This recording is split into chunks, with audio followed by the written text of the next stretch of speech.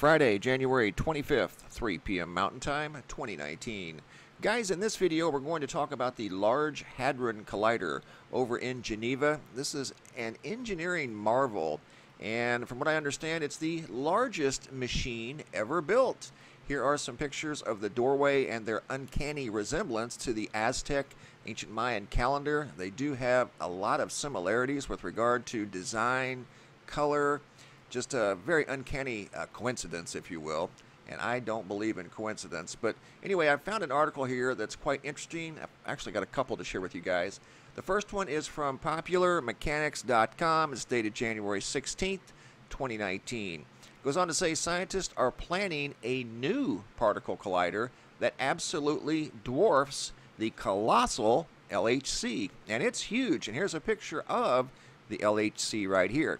This ring you see is the proposed new collider that they're wanting to build around the Large Hadron Collider. This thing is enormous.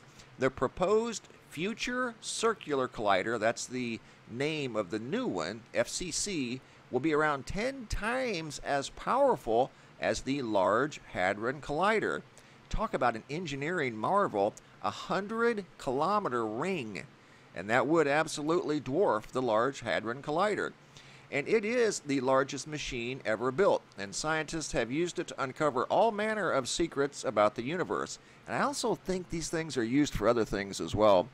But moving on, uh, for all the time and energy the scientists have put into the LHC, plenty of the universe secrets are still eluding us. So, CERN, the organization that runs LHC, is planning to build a new particle accelerator that's even bigger. I mean, how much bigger do you need to go? And I and I say this uh, with all due respect, how much bigger do you need to go to look for something so small? You know what I mean? It, it just doesn't make sense to me. But nevertheless, that that's the plan. The proposed accelerator has given or has been given the future name Future Circular Collider. And if it ever gets built, it will dwarf the already gigantic LHC. The FCC is a gigantic ring more than 60 miles in circumference. That's 100 kilometers. And four lar- and it's around four times larger than the LHC. When it's completed, again assuming it gets built, it will be able to produce collisions 10 times more powerful than the LHC. The new, uh, the new collider was proposed as part of the ongoing discussions surrounding the course of the European particle physics in the upcoming decades. According to a report, development of the FCC will happen in three stages. The first stage will see the FCC collide electrons with positrons, and it goes on to talk about electrons with protons, and then protons to protons. And it's impossible to say for sure what these discoveries are going to be. The large, uh, the LHC, the Large Hadron Collider, that's where they discovered the uh, Higgs boson particle. Now they're looking for something even smaller than that. But here's the thing unfortunately, we'll have to wait a long time for this to happen. The FCC still has to be approved, and once that happens, construction could take years, and I'm sure it will, as big as this thing is. If everything goes according to plan, the accelerator will begin proton to proton collisions by 2050 we're talking 30 years down the road, 31 years. And it could take years after that to make any type of significant discoveries. So they're basically looking for particles smaller than the Higgs boson. Unbelievable. Here's 10 things from symmetrymagazine.org that you may not know about particle accelerators. Number one, um, there are more than 30,000 accelerators operational in the world. I did not know that. I did not know this next one either. One of the longest modern buildings in the world was built for a particle accelerator. Talking about the SLACS, uh, it's called the SLAC Klystron Gallery, and that is a particle accelerator over at the University of Stanford along the California coast.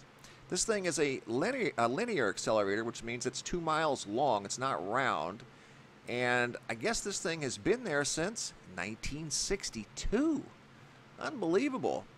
Going back to this article here, number three, particle accelerators are the closest things we have to time machines, according to Stephen Hawking. And it makes you wonder building something this big if they aren't maybe trying to manipulate time? I don't know. That is a enormous, enormous machine.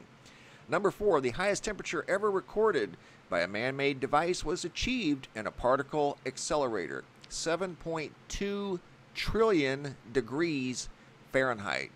That is a Guinness Book of World Records record. Number five, the inside of the Large Hadron Collider is colder than outer space. Outer space being on average negative 454.9 degrees Fahrenheit. The coldest they've ever gotten, the LHC, was negative 456.3 degrees, or negative Fahrenheit. So that's almost 2 degrees colder than the vacuum of space. Number six, nature produces particle accelerators much more powerful than anything man made on Earth. Number seven, particle accelerators don't just accelerate particles, they also make them more massive. Number eight, the diameter of the first circular accelerator was shorter than five inches. The diameter of the Large Hadron Collider is more than five miles, and the new one that they're proposing will be more than 10 miles wide. They just keep getting bigger and bigger and bigger, but they've been around for quite a long time. In the 1970s, scientists at uh, Fermi National Accelerator Laboratory employed a ferret named Felicia to clean accelerator parts. They ran a ferret through some of these long tubes that they couldn't get into to dedust them and get some of the uh, particles that they didn't want in there out of there using a ferret. Number 10, particle accelerators show up in unlikely places. Scientists tend to construct large particle accelerators underground to protect them from being bumped and destabilized, but they can also make them a little harder to find. For example, motorists driving down Interstate 280 in Northern California may not know it, but the main accelerator at SLAC runs underground just beneath Interstate 280. And that's this one right here that extends over two miles, or it's right at two miles long at Stanford University. And that right there is the interstate. So these things are all over the place. In fact, there's another one. We're at over obviously in uh, Geneva, Switzerland. Cornell University also has one too. That apparently they play soccer and football above that accelerator. So these things are all over the uh, world. They were planning on building one in Tokyo, but for whatever reasons, this was an article that goes back to 2013, they were going to build one over just north of Tokyo in Japan. That was a linear one, just over two miles long, something similar to the one that's in Stanford. But for whatever reasons, this one even had a name and everything. It got scrapped here at the last minute, and it was just scrapped this year or actually last year, just a few months ago, December 19th of 2018, the article came out. So actually, just a little over a month ago, they decided against building this one in Japan for whatever reasons and went with building a bigger one around the current LHC.